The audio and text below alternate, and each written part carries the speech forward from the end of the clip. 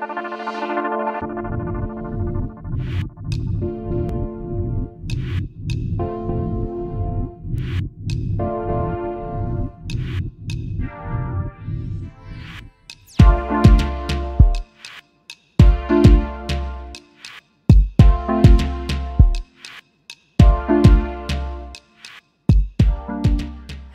This is Candy with Eyes to Jesus.blogspot.com and welcome as we continue on our study going through the whole book of Isaiah in the Bible. So today we're up to Isaiah 33. If you would like to follow along with me in the same Bible translation that I'm using, I read from the Young's Literal Translation. And you can uh, get this on Amazon. Uh, you can just read it for free online at such places as BibleGateway.com, etc. So, but let's turn to Isaiah chapter 33. And uh, Isaiah chapter 33 is the very last of the woe chapters. So we are ending our woe chapter section here as we complete uh, studying chapter 33. All right, so let's begin. Let's get right into this. Verse 1 says, Woe, spoiler, and thou not spoiled, and treacherous, they that dealt not treacherously with thee. When thou dost finish, O spoiler, thou art spoiled. When thou dost finish dealing treacherously, they deal treacherously with thee. Now, as we continue reading on, we see that the spoiler that this is referring to, and we also gather this contextually from previous chapters, is it's the Assyrians, okay?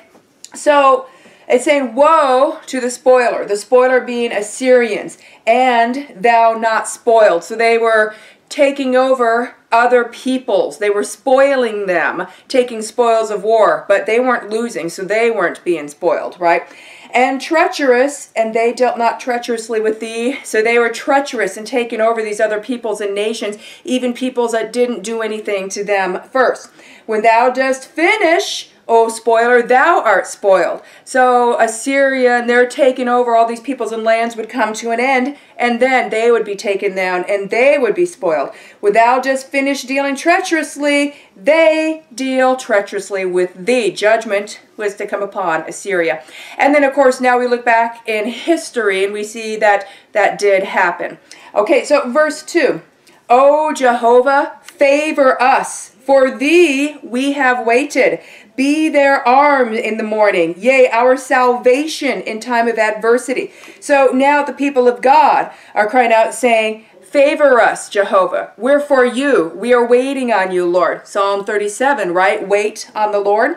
Verse 3 from the voice of a multitude fled have people. From thine exaltation scattered have been nations, and gathered have been your spoil. A gathering of the caterpillar. As a running to and fro of locusts is he running on it. Set on high is Jehovah for he is dwelling on high. He filled Zion with judgment and righteousness. So now we know that the two main peoples in this chapter is Assyria and Zion, which is the house of Judah here.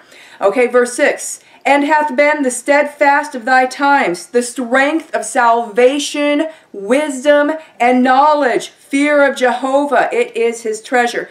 Do you have salvation, wisdom, and knowledge? If you're a child of God, these are three attributes that you most definitely should possess. And then fear of Jehovah, because God is all righteous and he is a righteous God and he brings judgment upon sins and all evil. So we should have a healthy fear of God. Okay, so verse 5, we see Zion being introduced. Now, verse 7, Lo, their Ariel, they have cried without. Messengers of peace do weep bitterly.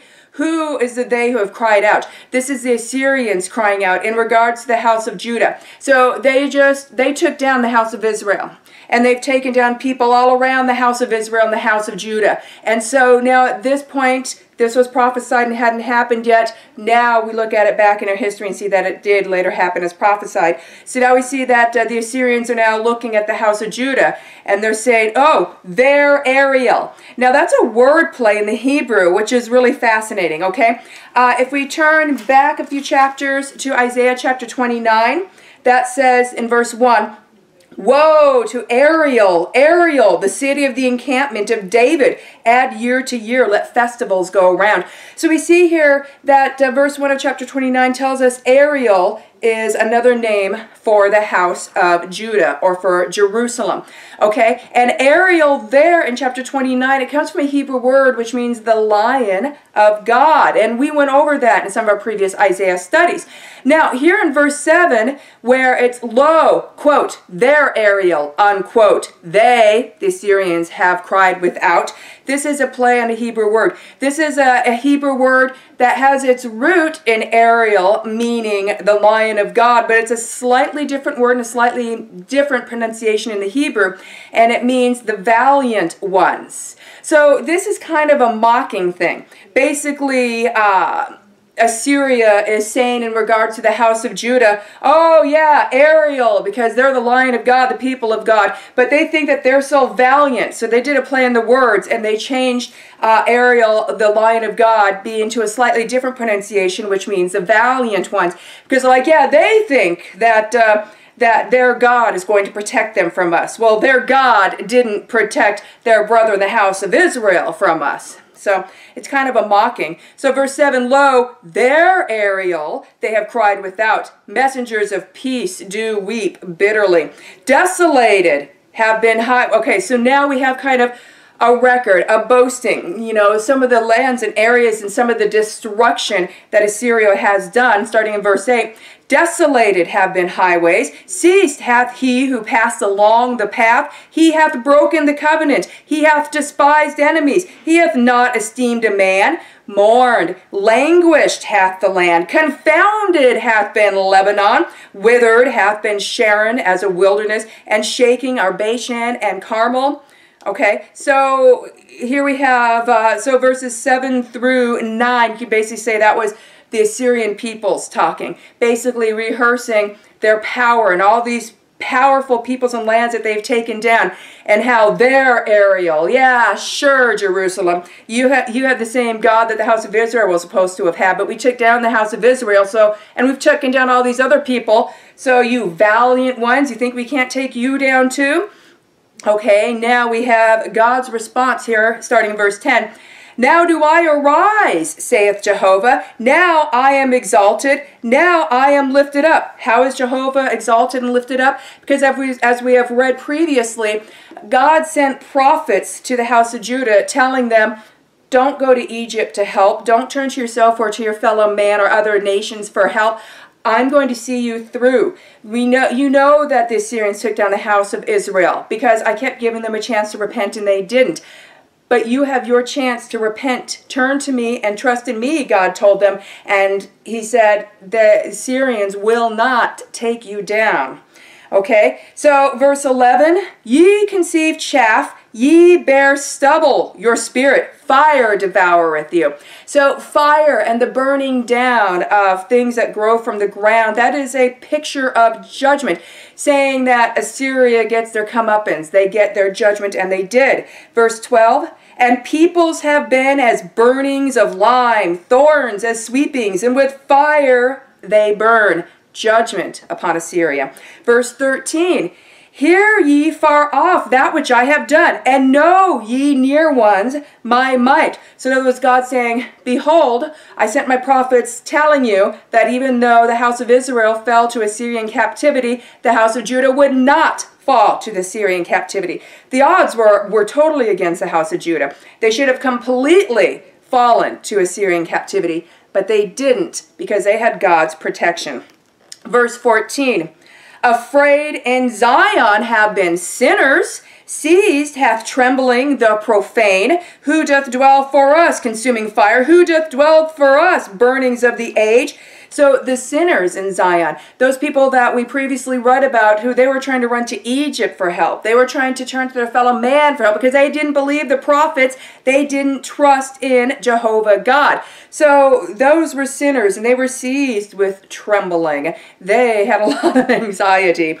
Okay, but what about the righteous, those who did trust in God? So verse 15, Whoso is walking righteously and is speaking uprightly, kicking against the gain of oppressions, shaking his hands from taking hold on a bribe, stopping his ear from hearing of blood, and shutting his eyes for looking on evil, So we got a description. So the righteous, these are ones who trust in Jehovah and believe in Jehovah God. But not only that, the righteous, and this goes for us today, the righteous isn't just someone who's like, yeah, I have good thoughts and I don't sin. It also means that we stand up against sin that harms others. So kicking against gain of oppressions, we are to stand up against those who get their gain from oppressing others. Shaking his hands from taking hold on a bribe, we righteous, we don't take bribes, nor do we support those who take bribes. Stopping his ear from hearing of blood, so we want nothing of gossiping or of murders or being a part of people killing people, and shutting his eyes from looking on evil. So, you know, Job talks about how he made a covenant with his eyes that he would not look upon a maiden. Um, in the New Testament, read about where Jesus tells us that we're supposed to keep our eye pure. So we need to be careful what we look upon. What are you looking upon? Are you looking at pornography? Are you watching other people sin and taking joy in their sin? So these are things for you too. You're supposed to shut your eyes from looking on evil. So even if you're not a partaker, if you're looking on it, it's like you are a partaker. That is an unrighteous act. Verse 16, he, high places, doth inhabit. Strongholds of rock are his high tower. His bread hath been given, his waters steadfast. A king in his beauty, see do thine eyes. They see a land afar off. So the righteous, we see the coming king of the ultimate new Jerusalem, which will be coming down out of heaven onto the earth at the site where Jerusalem is now. And this happens in a little over a thousand years from now. So we look upon, as uh, the New Testament tells us, the country afar off, the ultimate promised land. Okay, so now verse 18, we turn to personifying the Assyrians again. So the Assyrians, verse 18, thy, the Assyrians, heart doth meditate terror. Where is he who is counting? Where is he who is weighing? Where is he who is counting the tower? The strong people thou seest not, a people deeper of lip than to be understood, of a scorned tongue there is no understanding. So the Assyrians, they bring terror. They they they don't see anyone standing in their way. No one is standing up against them. They don't see any strong people. They just see victims being taken down. They take down even foreigners. They don't even speak their language. Verse 20. See Zion, the city of our meetings. Thine eyes see Jerusalem, a quiet habitation, a tent not taken down. Not removed are its pins forever, and none of its cords are broken. So, verse 20 through the rest of this chapter, this is now going into future unfulfilled prophecy. This is prophecy that will be fulfilled in a little over 1,000 years from now. This is referring to New Jerusalem. New Jerusalem, when New Jerusalem is established on this earth, will be established forever. It will never be removed. So it continues talking about that here in verse 21. But there mighty is Jehovah for us, a place of rivers, streams, broad of sides. No ship with oars doth go into it, and a mighty ship doth not pass over it. In other words, it will never be besieged or taken over. No one like how the Assyrians took over the house of Judah. No one will take over New Jerusalem when it is here. Why? Verse 22 For Jehovah our judge, Jehovah our lawgiver, Jehovah our king, he doth save us. Verse 23 Left have been thy ropes. They strengthen not rightly their mast. They have not spread out a sail. Then apportioned hath been a prey of much spoil. The lame have taken spoil. Nor doth an inhabitant say, I was sick. The people that is dwelling in it is forgiven of iniquity. These are the promises, just some of the promises of New Jerusalem. And only nations of the saved will walk in New Jerusalem. We can see a little hint and some more detail about New Jerusalem if we turn to Revelation chapter 21. And let's just look at verses 1 through 7. And that says, and I saw a new heaven and a new earth. For the first heaven and the first earth did pass away, and the sea is not any more. And I, John, saw the holy city, New Jerusalem, coming down from God out of the heaven, made ready as a bride adorned for her husband. And I heard a great voice out of the heaven saying, Lo, the tabernacle of God is with men, and he will tabernacle with them, and they shall be his peoples, and God himself shall be with them, their God. And God shall wipe away every tear from their eyes, and the death shall not be any more, nor sorrow, nor crying, nor shall there be any more pain, because the first things did go away.